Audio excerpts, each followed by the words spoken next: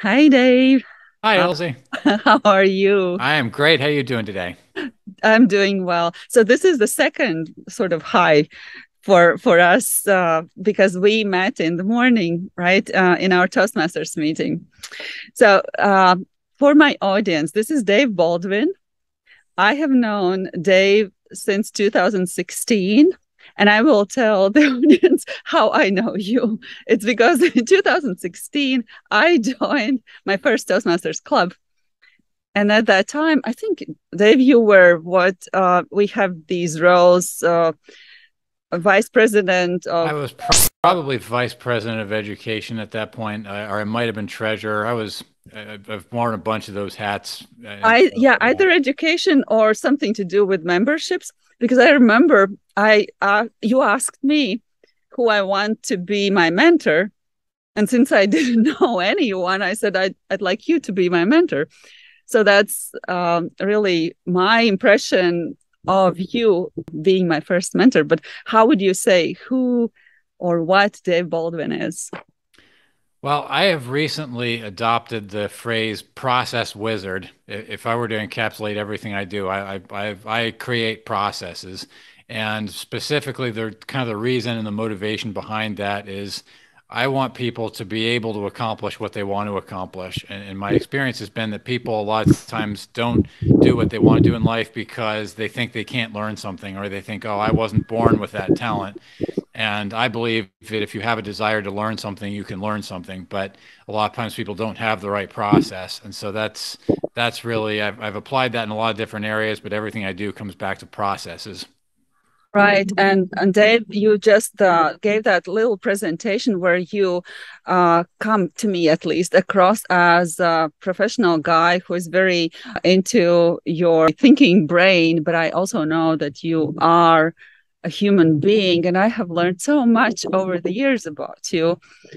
One thing i remember that how how you how i started to realize that you are more than just a process guy is i remember that you were talking about your weight loss and you becoming a vegan. Would you walk us a little bit through that journey? Sure.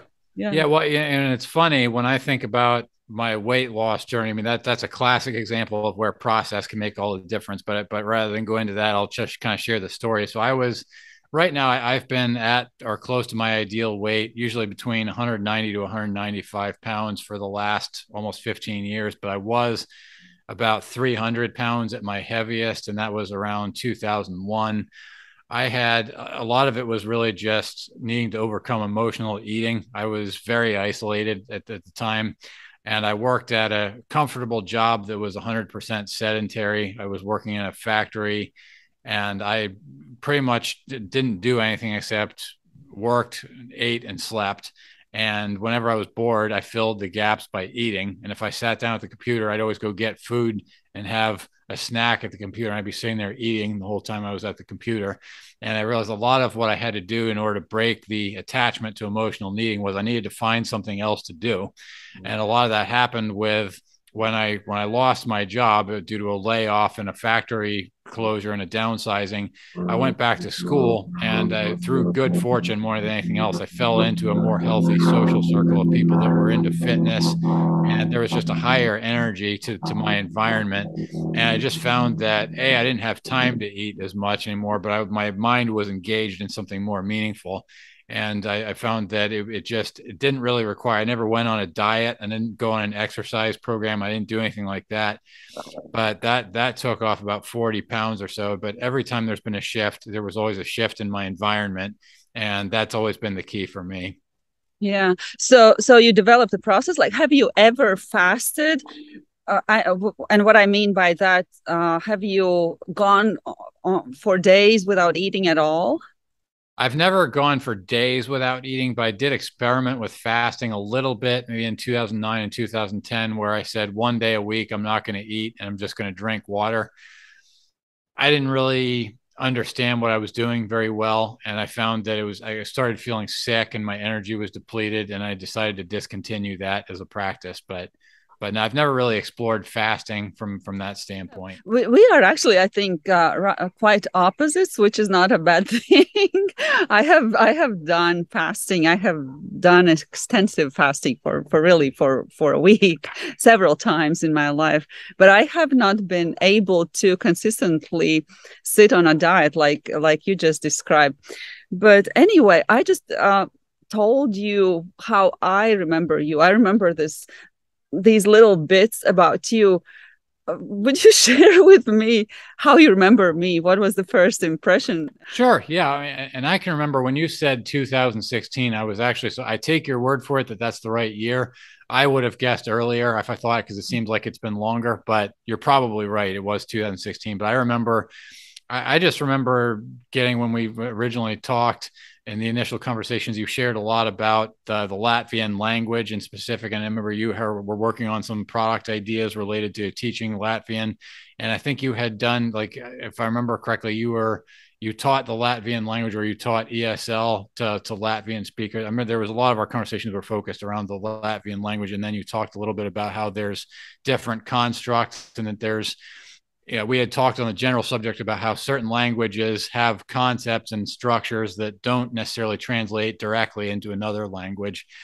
And I, I, remember just finding you really to be an interesting person intellectually, and and uh, you know how you had shared a little bit about the different cultures. And I remember you telling me about the being at the uh, really high northern latitudes and the the differences in between really dark days in the winter and really bright days during the summer and you kind of gave me just a, a, glimpse into a whole different world that's that's very different than the world I grew up in. And I also remember us talking out one of those parking lot conversations where you had talked about there there was a debate about uh, somebody had brought up that we were talking about the difference between an informative speech and an entertaining speech. And I remember you said why do I I don't need to be entertaining if I'm informative? Being informative has value. And I remember the whole d- discussion being about and this is something that stuck with me and something I agree with you on that point that our our culture is so fixated on entertainment that people feel like you have to earn their attention all the time. And I know that that's been a shift that I've seen happening over a while but I remember until that conversation made me really kind of stop and think why is it people don't value being informed by itself? Like why does everything have to be a great story and be entertaining you know what what what would it take to have a culture where people see value in knowledge information and wisdom without it having to be entertaining for so that was that was one of those conversations i remember as being particularly enriching in the sense that it, it caused me to stop and think about things that I, that I didn't automatically know to think about so yeah, I mean, obviously, there's been plenty over time. We didn't have TikTok back then, right? And we didn't have a lot of these other developments. And I know I kind of took a couple of years hiatus from Toastmasters since I had a job and we weren't in touch during that time. But I remember coming back in and just noticing that the the change I saw was I saw more of a an animated energy to you that that I that I didn't see before, and, and it felt like it's. I think we all kind of have our journeys of we're we're figuring out little bits and pieces of our life purpose and our life mission, and I, I saw a level of animation and a level of maybe clarity, I guess, that that was more so than what what used to be there when we originally met in the beginning. That's interesting what you remember but uh, because i still uh, maintain that opinion that an informative speech is still a valuable speech right? Uh, i have added the touch of humor into my presentations but i think that's more because that i am somebody who um, doesn't like to um, come across as a victim even when I get victimized. And I think we, most of us do. So I kind of try to laugh it off and talk and joke about it and um, dismiss actually problems. Whereas you have had a courage really recently to talk about very vulnerable things especially when you came back, you talked about more openly than I not- had noticed before about how you struggled with business and what were what your misconceptions were before and then later even uh, i hope i can mention i am sure. uh, about uh, your man- mental illness so um, can you briefly share about some of that? For instance yeah your journey generally. Yeah th- there's a lot to unpack there. I, I will say I, one of the things that i really am uh, become more passionate about over time is being an advocate for the mentally ill. And I, I, only, I almost don't even like to use the mentally ill to describe a group of people because I believe it's a everybody suffers with mental illness to a degree. It's just a question of degrees. Mm-hmm. But when I think about uh, how mental illness and mental health relates to business, there, there's definitely a lot of shifts in conversation that really need to happen. And the, the biggest thing that's the, the the thorn in my side that really offends me the most is this idea called fake it till you make it and the idea that people should go out in the world and pretend to have their act together better than they do, pretend to know things they don't know. And it, it, I, I don't understand why we think it's a good idea to encourage children to be dishonest as a foundation for building a business relationship. It's a total lack of integrity and the dysfunction it's created in our culture. I, I, don't understand how people don't see it. But when I bring this up to people, a lot of times people say, well, hey, I do it. It works for me. And I, I, think it's just a really selfish and inconsiderate way to go about uh, interacting in the world. But I, I think the, the the hard part about mental illness and part of where I've been really trying to find what the solution really looks like is that first of all, it's invisible. It's not if I have a broken leg, everybody can see that I have a broken leg and people are going to interact with me in a particular way mental illness is an abstract concept and and not only can't people see it but the the other issue is people will uh, will think they understand someone else's experience better than they do mm-hmm. and so i've recently part of what i've started to wonder about is is art possibly part of the answer instead of trying to describe one's experience directly that's where storytelling comes in that's where poetry painting music and, and I, I often wonder does all art ultimately spring from a struggle with some form of mental illness that's or or some kind of a struggle that somebody just could not convey in a way that people could understand. And so that's that's the inquiry i've been in recently. Uh, you know, so uh, I'm not sure if that answered your question very well. But yeah, well, and whatever the answer is, it's an answer. Yeah. I, I I love the answer. I agree. Not just mental illness, but for instance, I don't know if you've uh, heard those speeches where I've talked about my grandfather who was who was an artist uh, during uh, the Soviet times and the, the, the way of how he protested against that the regime of that time was through art and then he was um, sent to Siberia. He was one of those people who suffered for for uh, raising his voice through the art.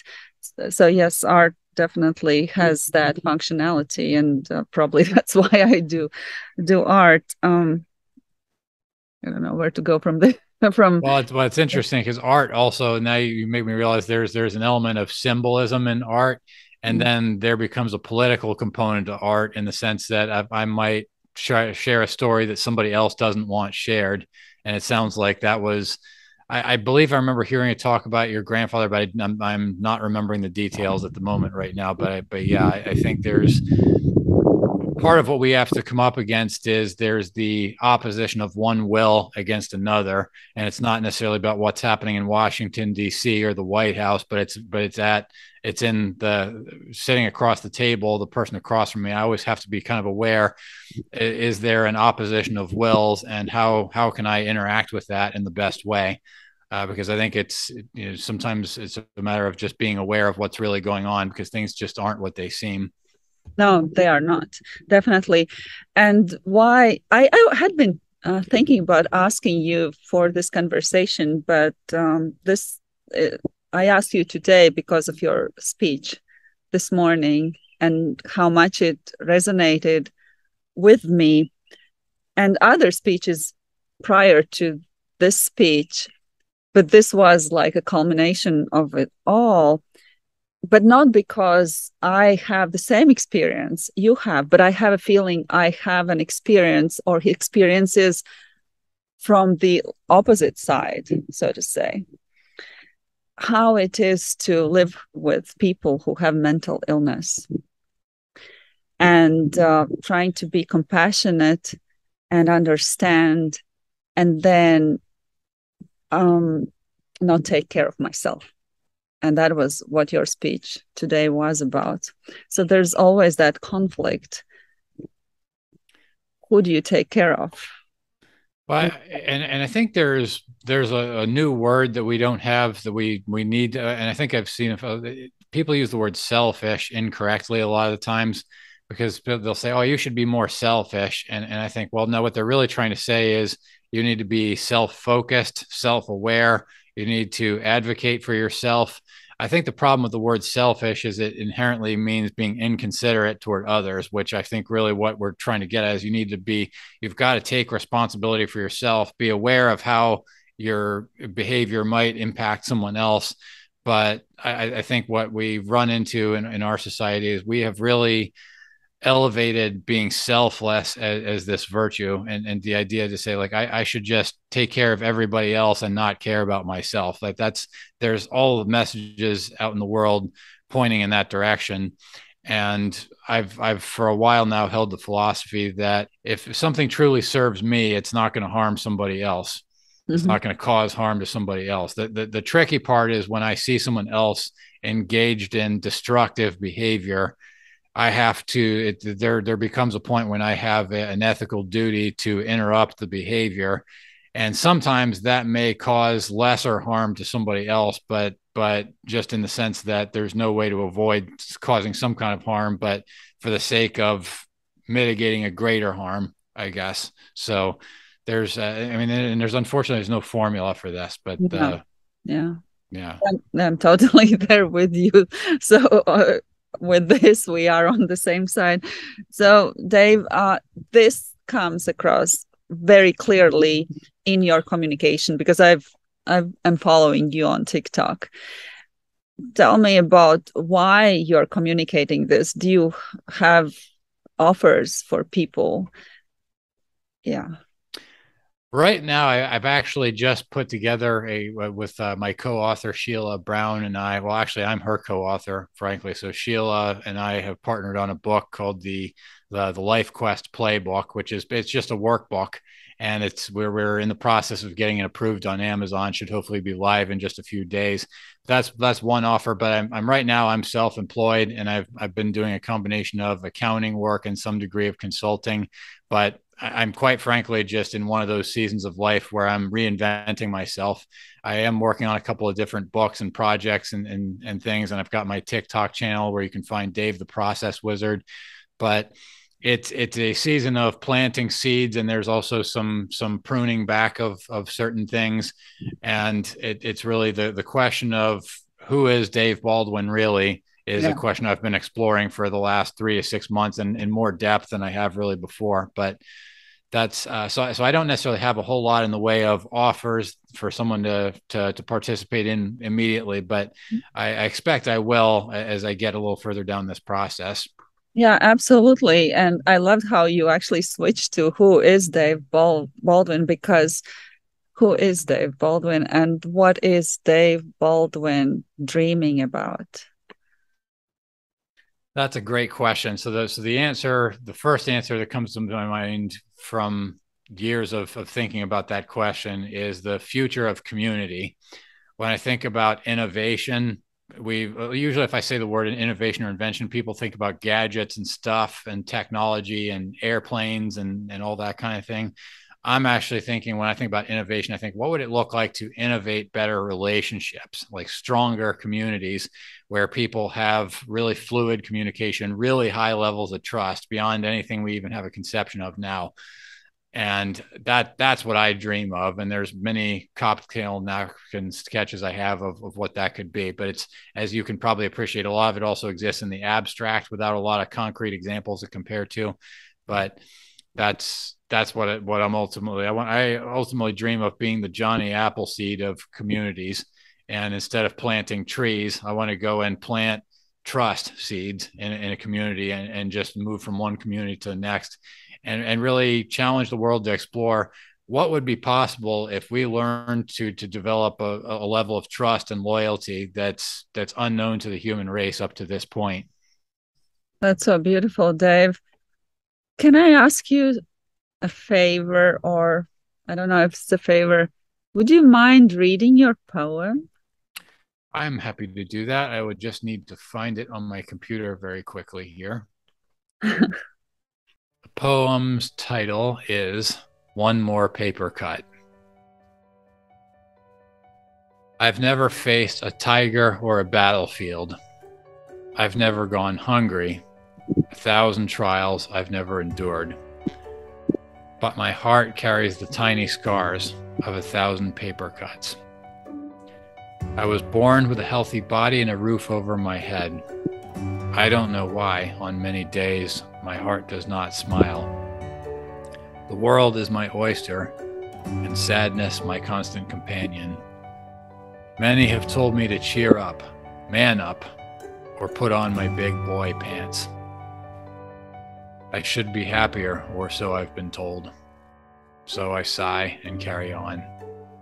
With each passing year, I learn to conceal the sorrow in my heart and show a smile on my face. I smile or I look away when friends and family ask, How are you? I say, Just fine, thanks regardless of the truth, if only to protect my heart from one more paper cut. But every now and then, I find a kind friend or passing stranger with whom no words are needed. We see each other's paper cuts, and a simple glance says, I know. I've never faced a tiger or a battlefield. I've never gone hungry a thousand trials I've never endured, but my heart carries the tiny scars of a thousand paper cuts.